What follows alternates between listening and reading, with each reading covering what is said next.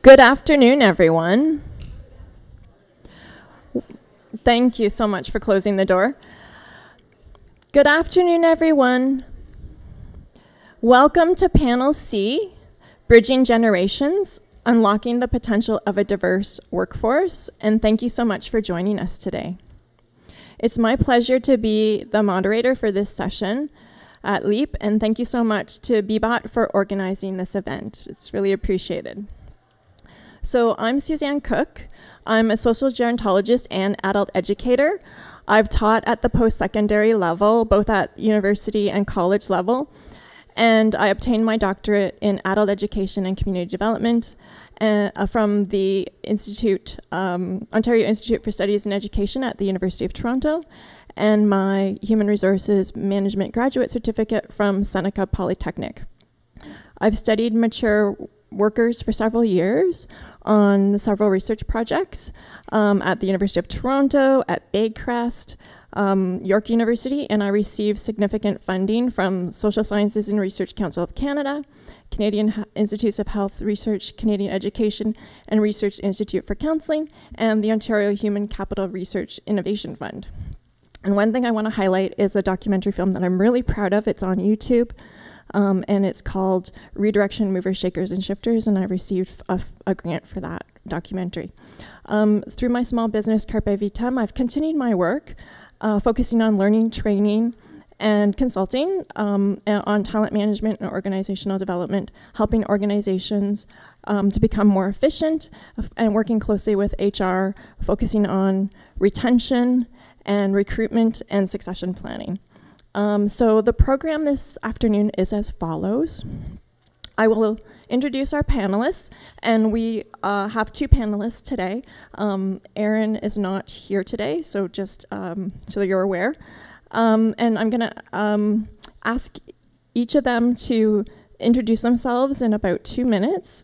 Um, and I, I want to before before I do that though, I just want to see how many organizations in the room are having diverse, generationally diverse workforces? How many of you, just a show of hands, how many of you have three, maybe three generations in the workplace? Okay. How many have four generations in the workplace? Awesome. And how many have five generations in the workplace right now? Okay, great. Um, and can I just see, is this one of your, show of hands again, is this maybe your top three challenges in your organizations? How to bridge the generations? Can I just see, is that, yeah, okay, perfect. Thank you so much.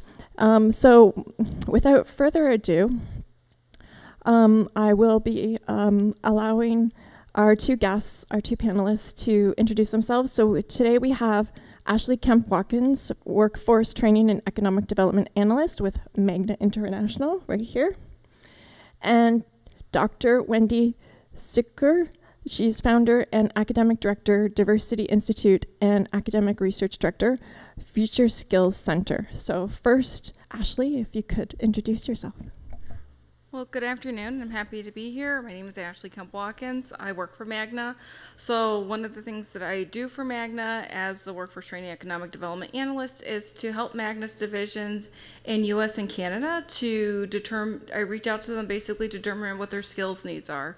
So, to figure out what exactly is the skills gap, that's a broad question. Figuring out how do we get them connected to um, the right talent pipelines for future talent I help them with the upskilling of their current employees, so that's multi-generational, with developing their training plans to figure out what, how exactly to meet their needs to help with the skills gap, and also helping them to meet the needs for future generations for succession planning purposes. Um, outside of that, I do um, volunteer work on Magna's Women's Exchange Committee. I've been a mentor for two sessions or two rounds um, for that, and I am part of the leadership team on Magna's Edge Committee, which is our race and ethnicity ERC.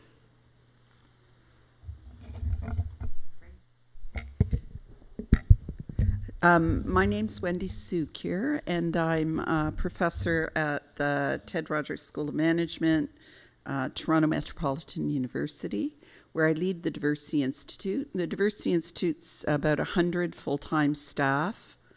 Some are here, but hiding, and uh, who work on different dimensions of diversity and inclusion with a big focus on education, employment, leadership, and entrepreneurship. So, age is obviously one dimension of diversity. Uh, I would argue that there are others, and while we have some research and data that does suggest there are differences uh, between the generations, it's also important to recognize that the differences within the generations are just as significant. So, a lot of the stereotypes and assumptions that people have about um, you know, millennials or or X Gen or or Zeds or Boomers um, apply overall, but clearly don't apply to everybody, and that's really important because um, the stereotypes can cut uh, cut both ways. So really pleased to to be here.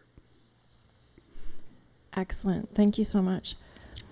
So the first question, and um, I'll ask this of both of you.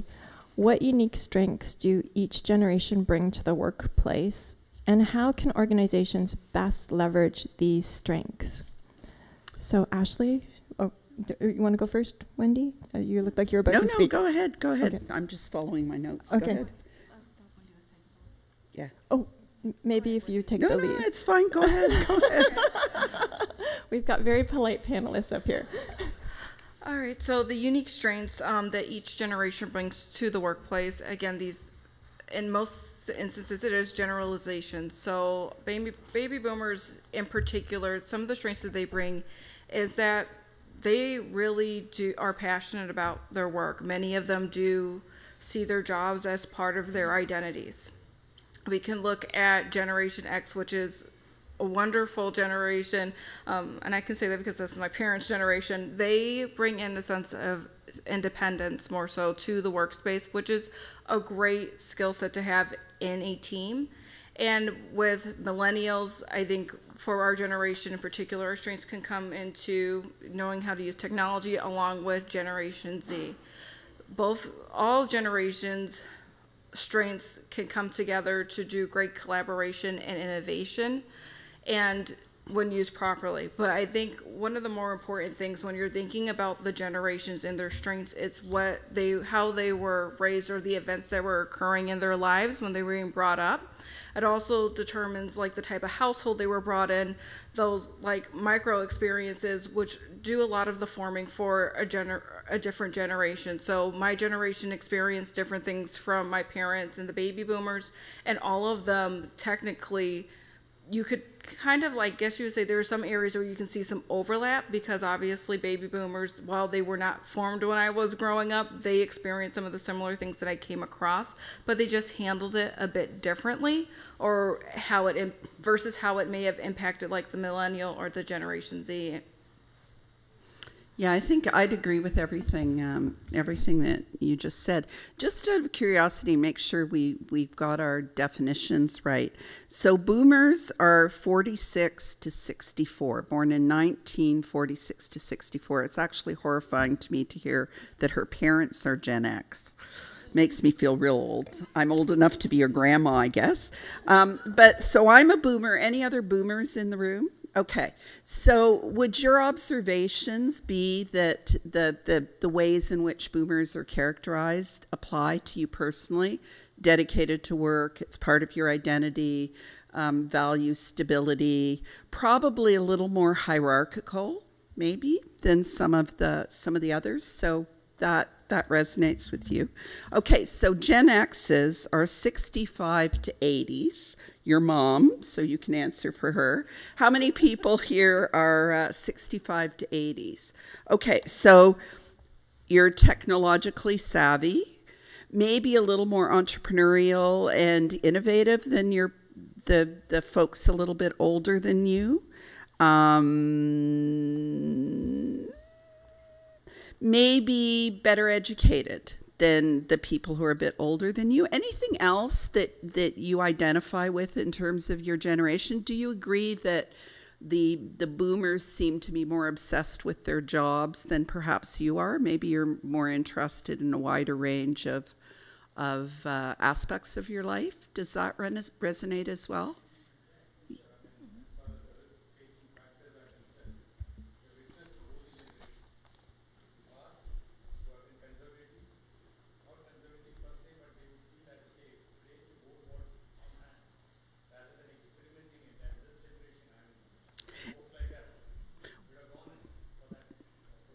Well, what I would say is my generation, for example, the goal was to get a long term job. Like lots of people my age started their job with one organization and went all the way through and retired. And, you know, having a pension, having stability, building your assets. Most boomers as well are richer than their parents, right? So a lot of us had parents who grew up poor, were immigrants, and so on.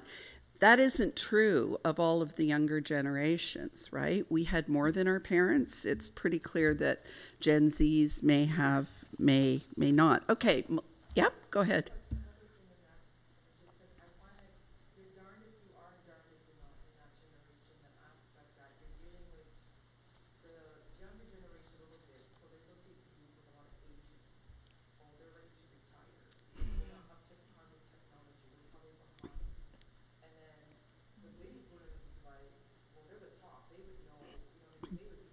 We rule, yeah.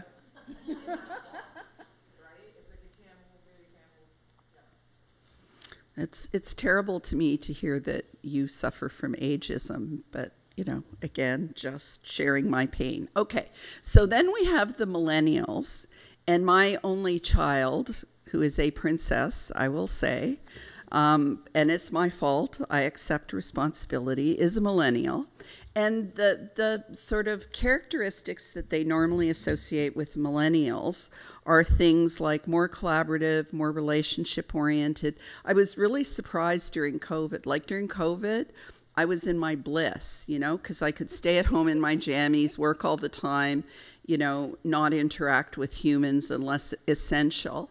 Whereas a lot of the millennials who are in my in my team suffered terribly because for them work was as much about the relationships and the socializing as it was about the um, you know the outcomes. I would say as well with millennials. Um, obviously, they're technologically savvy, but I think a lot of them, and this is you know based on a, a sample of one, a lot of them grew up with parents who were workaholics and obsessed with work, and they observed the lack of work life balance.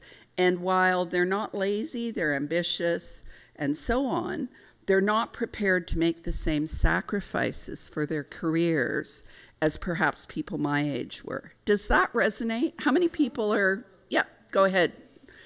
Does that, how many of you had workaholic parents that you do not want to be like. Yeah, that's what my daughter would say.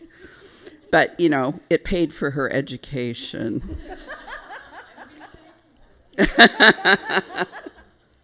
yep.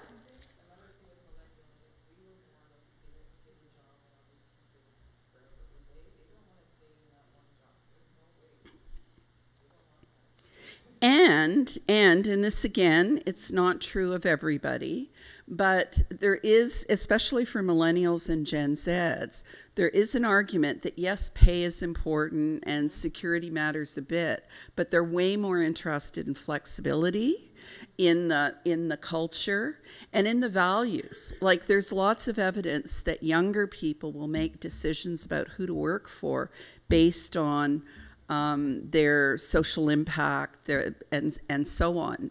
so it's tied to their identity, but in different ways than it was uh, with my generation. And I would say as well, and this is true, I think, of millennials and Gen Z, they don't get hierarchy boomers in the room, are you with me?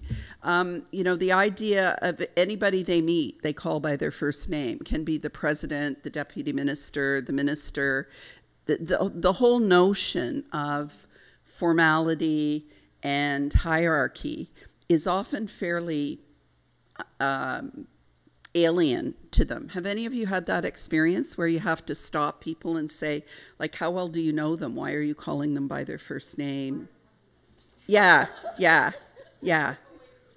Yeah, yeah, yeah, yeah. And, and those of you who work in government know that government, government even more than the private sector, I think, is incredibly hierarchical and formal. You know, the minister walks in, everyone genuflects. So, um, so then we have the Gen X, Gen Zs, and I think I think this is a little bit true for the millennials, but certainly true for the Gen Zs.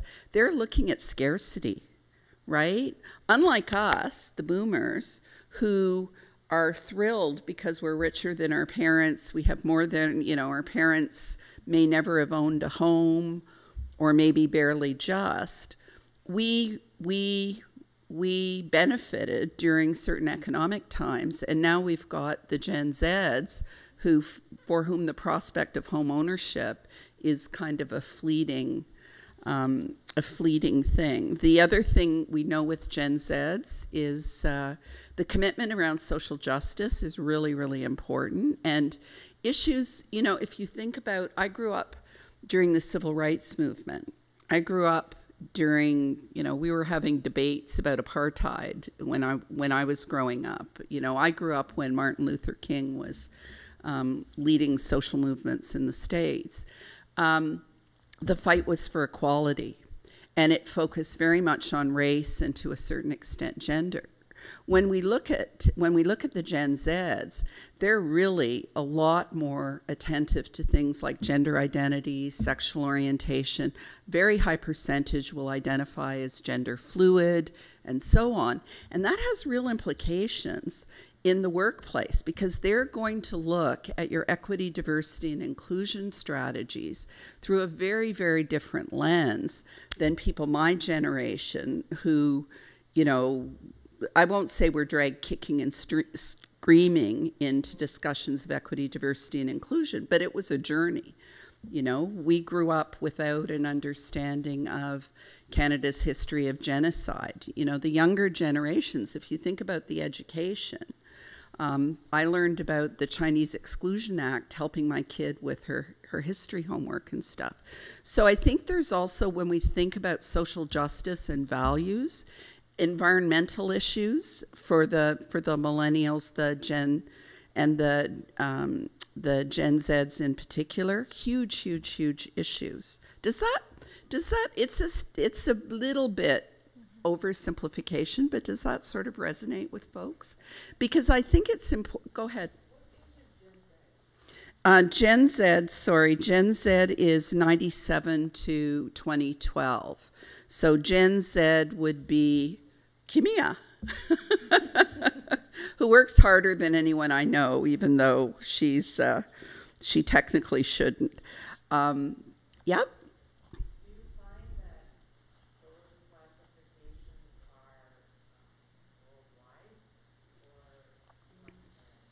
I think that's a really, really important issue.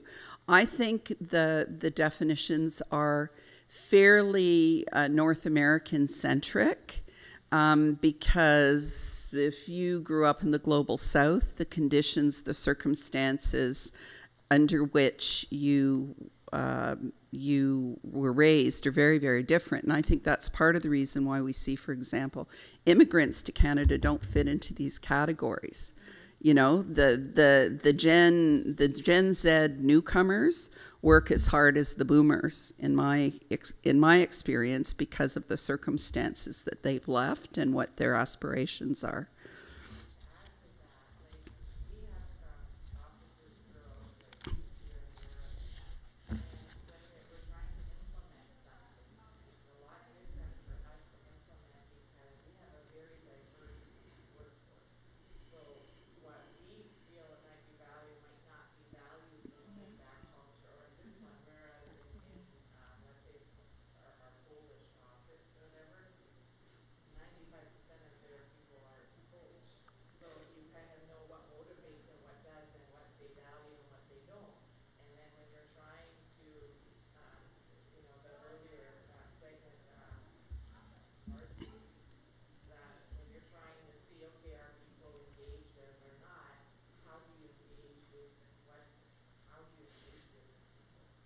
It's it's such an important point because I think that you know what we we're going to talk about in this session are some of the challenges about the intergenerational stuff. But as I said at the beginning, the differences, like you compare the boomers, the people my age from Poland or from France or from Brazil, we're going to be way, way, way more different than we are similar. So it's I think it's a really important point, and that's the notion of intersectionality. We're not one thing, so we're not just our age, we're a function of a lot of other experiences. So thank you for raising that. So the the analysis uh, that Wendy has shared, it as was mentioned, it is very cultural specific. It, it has to do with the socioeconomic impacts and influences during your um, your journey, your life journey. So it would be very different depending on on what uh, country you're living in. So we'll move on to the next question. Ashley, uh, what role does mentorship play in fostering collaboration between younger and older employees? So mentoring does provide a great opportunity of collaboration for the younger and older generation. So mentorship provides a healthy opportunity for trust and good relationships to be established. It can be used to create pathways of communication and understanding, and it allows the mentor and mentee to like gain new perspectives that they didn't have prior to the conversation. So at Magna, we have like the Women's Exchange Group. So they have a mentoring program. I've been a part of it twice. And the mentoring program in particular is different from like normal mentor mentee programs. Like usually it's someone who's a little bit more seasoned, I will say, I'll put it that way, with someone who's younger and there that's how the mentoring relationship goes. The women's exchange mentoring programs is almost like cross mentoring so it's not like if you were going to mentor me and i was going to be the mentee there were times we could switch just based on the experience. So we're seeing like cross generational mentoring. Gen z is just coming into the workplace but it doesn't mean that gen z doesn't have something to teach to the older generation. So we're trying to keep the doors open for those lines of communication baby boomers and since some people are like well they're how some people perceive like maybe they're too old to learn because they have that ageism thing going on there and interpersonally. But that's not necessarily true. They still have things that they can learn and they have things that they can pro- provide to the other generations. I myself have been mentored by a baby boomer which is my manager my direct manager. He's a boomer. I've been mentored by Gen X. I have had millennials as mentors, and I also have a mentor that's like Gen Z, where we have this open communication where I can have understanding and opportunities to learn from the different generations from their perspective. The good thing about learning from a baby boomer, I would say, is that I'm able to have different conversations with them that I probably wouldn't be able to have. I'm able to gain new perspectives, and it allows me to be like, hey, I have this idea, and maybe I'm sharing it with an audience that's of a similar generation to him and a similar background, it makes sense for me to bring these things to him. And when I asked him to mentor me, I told him, I said, you know what, you have something I don't have. I need to learn from you to get that thing because I'm missing it. And one of the things that he has from all his experience is that he genuinely cares about people. Like, no one on our team can say anything bad about him because his care for people is genuine. And if you ask him, because you know everyone's like he's a, he's a wizard, he knows it all. He's been with the company for over 25 years. He has the loyalty there. If you call and say, "Hey, I have a question on it," he will stop what he's doing and pivot because he makes himself accessible to you and we'll have a conversation because when I first started in government affairs, I didn't understand what an apprenticeship program was the plant I worked at before starting in government affairs didn't have an apprenticeship program. And I was like, what is this? And can you explain it to me in simplified terms? So since he had been doing it for so long, he stopped and had like a two hour long conversation with me just to break down what an apprenticeship program is. My experience with the Gen X mentors I've had, they provide different perspectives too. Like it's I wouldn't they're not as, you know, they don't have the same, I guess you say something special as my baby boomer um, mentor, but they provide different perspectives as well. They kind of help me lean more sort to career development, helping me to figure out how to navigate certain paths.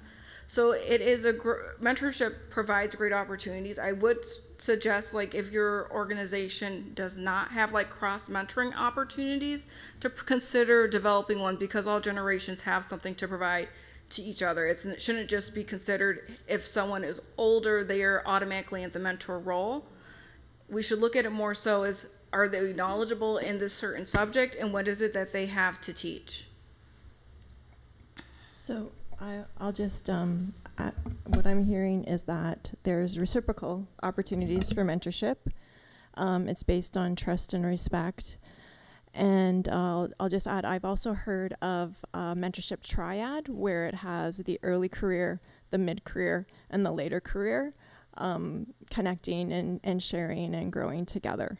Um, so I think you might have some comments, Wendy. Sure, and there are different different kinds of, of mentoring programs. How many people in the room feel like they have a mentor or mentors and have through their and and how many of them were formal programs or where you were in a where you were set up in a structured relationship? A couple. But a lot of you it sounds like have have found mentors through a variety variety of ways, and that is a big difference, right? Depending on the organization, there may be very structured and formal programs um, where there are expectations, where people are trained. We've done th- through the Future Skills Center. We've done, for example. Um, um, evaluations of large scale mentoring of entrepreneurs because anything that is based, apprenticeship is a good example, entrepreneurship is another. There are lots of things uh, in the workplace that we have to learn by doing. Um, and disciplines like nursing, for example, are very much based on experiential kinds of learning by doing. And in those contexts, a mentor is absolutely essential as part of the learning process. Um, in other areas, there's less structure and formality around it. So I think probably all of us can benefit from mentoring, and I think the reverse mentoring, certainly in my own experience, um, you know, as I said, because of the environment I grew up in, the way I see things, I know are very much a function of my socialization. I mean, have, have any of you done the um, Harvard implicit bias test? You should try it for fun. So I've worked on issues around women in engineering for more than 30 years. Um, but if I am forced to make quick associations, which is what the implicit bias test does, it's trying to get at what are your assumptions that are really deeply embedded, as opposed to what you would conclude if you took time and thought through process. I associate men with technology and women with arts and social sciences, even though I have a PhD in information systems and I've worked in the in the sector all my life, but it's so deeply embedded. Um, I don't know if others have had this experience, but I expect, for example, physicians to be older than me because I associate I associate trust, wisdom, not so much gender, right? I've had lots of um, doctors who are women, but I still know that I balk if I walk into the room and a physician is my kid's age. Like there's just, it just doesn't feel right. So I know in my own experience, there are lots of ways in which ageism um, plays out because I grew up at a time when it was assumed that people at the top of the organization were older than people at the bottom of the organization. It seems unnatural to work for someone who's younger than you. You know, that's that's just not what we were accustomed to. And so it takes effort. I you know, I always tell people my brain's too full, I don't want to learn anything new, but but there are things, especially in the equity, diversity, and inclusion space, that I really learn on an ongoing basis. And often I'm learning from my younger employees. Um, technology, right? I remember one weekend having to write like five proposals, and my kid said, "I've got two hours. I'll I'll help you on Sunday." And in two hours, using Chat GPT, she did more work than, frankly, my team would have done in in two weeks. So there's lots of ways in which you know social media presence, technology, all that stuff. People my age learn from younger people. On the other hand, when it comes to navigating the unspoken rules in many established organizations. It's a bit different if you work in a startup. But if you work in government, if you work in a large organization, very often there are rules and then there are rules. And understanding how to navigate people, how to navigate processes, how to get ahead, what the secrets are for success, often those things can only really be shared with you from someone who has been there and and um, lived the experience. So I think that's important to mention. And the final thing I wanted to say is there's a difference between mentorship and sponsorship. And sponsorship really requires power. It's fairly difficult. I mean, I've had students and a few employees who have run around and championed me for all kinds of things. But in general, if you're looking for a sponsor who's going to actually get out there and promote you, it's likely to be someone who is senior to you in the organization.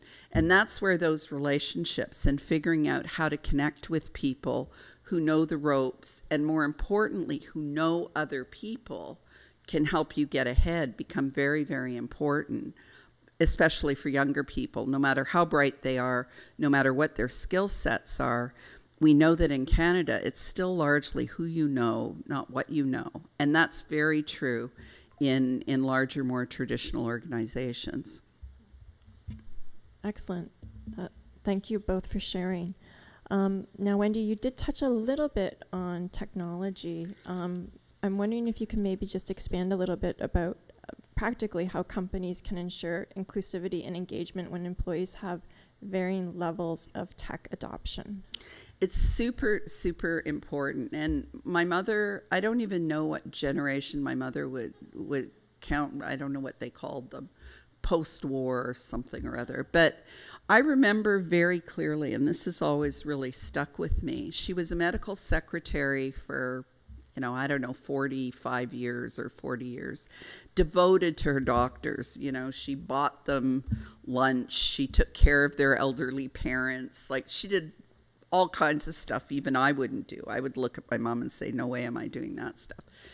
But when they, they tried to get her to use a computer, right? And it would have been probably, uh, I forget what year it was, maybe 98, something like that. Computers were established, but not, um, not at the same extent. And she quit she took early retirement because the stress of trying to learn how to use a computer made it not worth working at her job anymore. And it's really, really, it's not just an age thing, it can happen at any level. But I think it's really, really important to make sure that when you're thinking about technology adoption, you're taking into account generational differences, um, individual preferences, capacity, and so on, because some people become very expert at the thing that they currently do.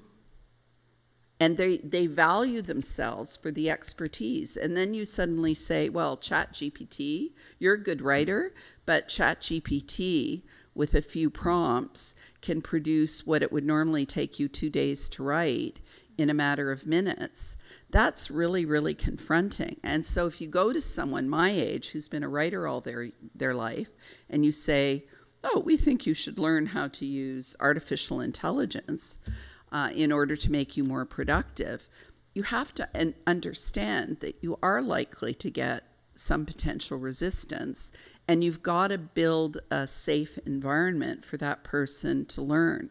Some people like to learn on themselves, some people like someone to sit with them but it's very important, especially for my generation. It's not that we can't learn, it's that our identity is often based on our knowledge, our expertise, our years of experience.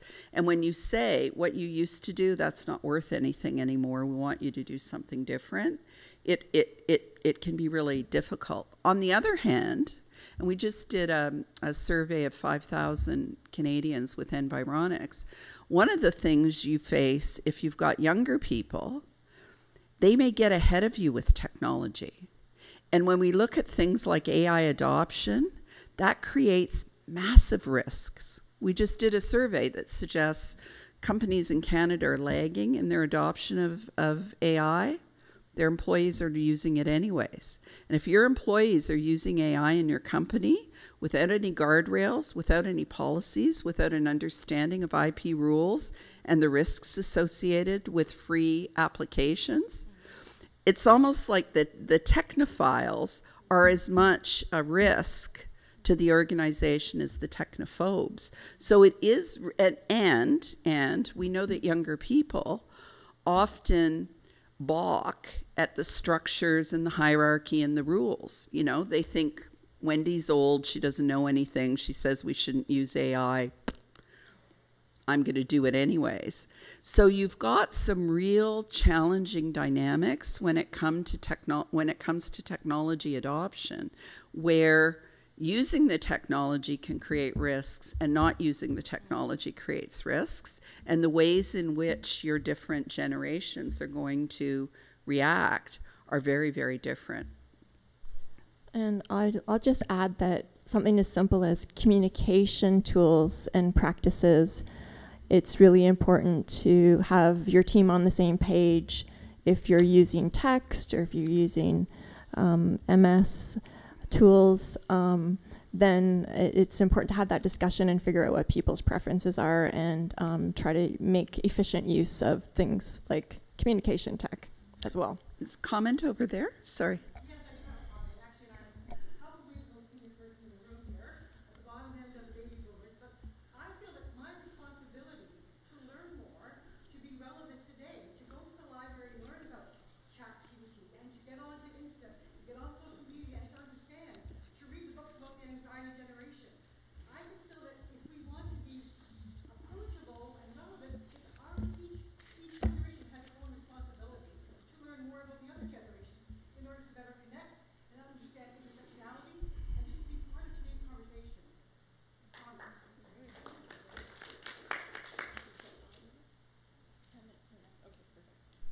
So, Ashley, can you please tell us what role a flexible work plays in supporting a multi generational workforce, and are there age specific preferences?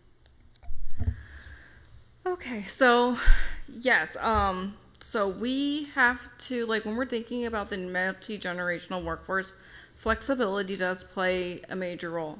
I think we saw serious changes after COVID 19 after we've had like our workplace shifted, I don't think that people, many people want to go back to how things were, being in the office five days a week.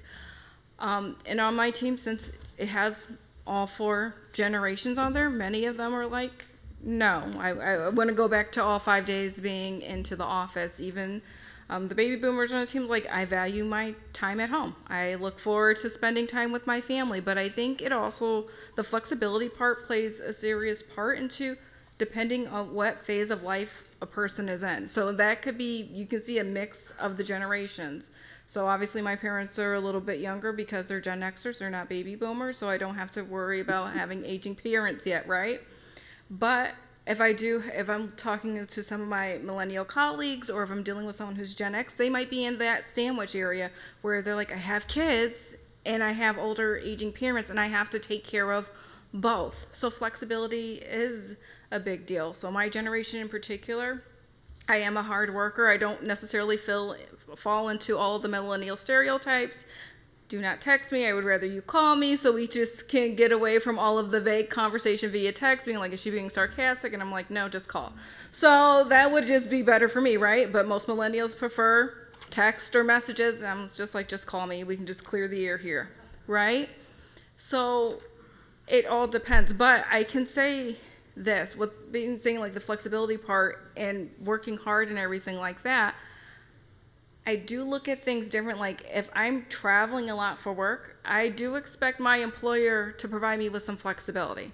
Like if I have to step out for a doctor's appointment, I don't necessarily believe that I should have to take my personal time to go for a doctor's appointment if I've already given you some of my time, right? So I do have that personality where, like, if my company, because I'm not married, I don't have kids, so I can easily pivot on the dime. But there could be moments that I'm like, I need time for me, and I don't necessarily want to use my personal time because I gave you my personal time to go here to do this on your behalf. So I think that that's part of the flexibility conversation that all the generations want to see. Gen Z, you know, the studies always are saying like maybe they want to work from home more, but I think you're starting to see bits of changes. But one of the conversations, like from one of the workforce events I went to, was talking about how Generation Z wants to choose where they work how they work, when they work. So they want major flexibility within the workplace. And it's to me, I'm like, that's not necessarily a bad thing because they want the work life balance. I love my parents, but I don't want to necessarily be my parents when you're talking about like the Gen X generation, which I think you're seeing that change there too after COVID, where most of them were like, I want the balance. Like hearing some of the people talk in my workplace being like, during COVID, I was having breakfast with my kids in the morning. I like that. I don't want to give that up. Or I was able to go to my kids' sporting events and I like that and I don't want to give it up. I think what we saw is like that change in that desire to be like, my life is not just work. There's that part of myself that is, you know, outside of work, and that's important too, and it has a space and a place. We're starting to hear more from our top executives talking about like I tell my staff, like, hey, I'm leaving to go to X event. Maybe it's a family event or things of that nature, so that they meet their people that they report to them feel more comfortable and knowing that they can do that for themselves. So I don't see flexibility leaving. I just think that um, depending on the generation determines on if they want more or less, desire more flexibility or if they're okay with a little less. So what I'm hearing is that there's a need for flexibility to meet diverse needs, basically. Yes. Okay. Uh, so I think we, we have about five minutes left. So are there any questions from the audience? Do we have any anyone who wants to ask a question? No, I don't see any any hands up for questions. So how about um, Ashley, uh, do you have any concluding comments that you want to make? Yeah, um, I do have a concluding comment. So we did have one question on there talking about how, what the workplace can do to make sure transition of knowledge is smoother. As we're seeing like baby boomers starting to retire, I know we just saw the, our reporting numbers showing how many of our apprentices, or as to say our journey persons, or skilled trades people are about to retire based on the trade. And it was kind of, it was sobering to see how many could basically retire tomorrow and we don't have the people to backfill the positions. So one of the thoughts was for me, because as my manager is getting ready to retire himself, is what you would want to do in terms of businesses is to make sure that whoever is retiring, that you have a person in mind to backfill that position and allow that person that's retiring, the the person, the succession plan, and the direct and the other the manager over the department all be in the same room and having conversations together to develop the plan so that when that person leaves, there isn't that gap there. I had the opportunity recently, a couple of weeks ago, to visit um, a submarine manufacturer, and they were talking about how they stopped hiring the younger generation because they were like, oh, we didn't think there was a need for them anymore and they were like, in our best time, we could get a submarine completed in 64 months. They're like, we can't do that anymore because our older generation is gone. So when we're talking about the transition of knowledge and people leaving the workspace, we need to make sure we're having that open communication. And with the baby boomers, since they are more so passionate about their job and it's part of their identity, you need to include them in the conversations. Don't do things without having them a part of it because there could be some resistance there. So I would say, and have all gender, all parties included, and that would help better with your transition of knowledge. So a knowledge management program and a succession planning program that are st- strategic in nature. Yes. Okay, and Wendy, do you have a concluding comment? Yeah, I guess there are two things that we haven't talked about that are probably worth um, worth thinking about. And and one is the issue of resilience. And I don't know if this has come up with uh, um, in the discussions, but there is definitely evidence, and this is not being judgmental, but there is definitely evidence that younger people today are not as resilient as, for example, people my age typically were. You know, you, you knock us down, we get back up, you knock us down, we get back up. And that's having really significant implications for mental health in the workplace. And there's really good evidence, and this comes out in the surveys we've done with, with Environics, that, for example, during COVID, younger people suffered for whatever reason, and maybe part of it is the social isolation and the way in which work was more of a social process than about their individual achievement. But younger people definitely are suffering more in terms of mental health issues, stress, and so on. And so that is something that we have to really grapple with. And it's something, you know, kind of difficult for people my age because it's like, suck it up, buttercup. What do you mean? You know, like we're not accustomed to the same um, attention to to people's mental health i think is now is becoming very central in the workplace so i think that's one thing that is really um, really critical to think about. And then the other thing, and this is a very unpopular thing to raise, but it is really important in the context of flexible work. We know that there are lots of employers that are using back to work um, mandates basically as a way of downsizing. Right? Instead of laying a bunch of people off, they're just saying everyone come back to work, people will quit, they'll get rid of 10% of the workforce, they're done. Um, it's not a very good strategy, and I think uh, employers are going to, to pay a price for that.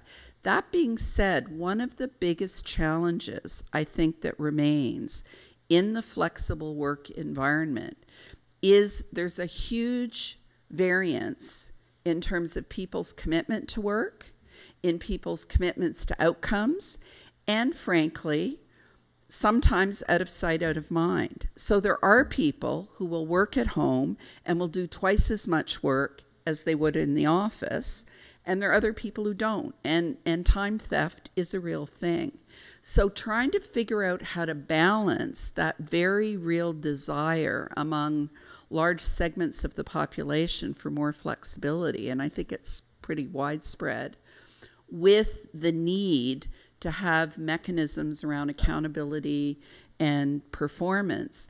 That's the really difficult balance to strike right now. And I don't think anyone's got a good solution because I think lots of managers, while in principle, recognize that just because they're not watching someone doesn't mean they're not working.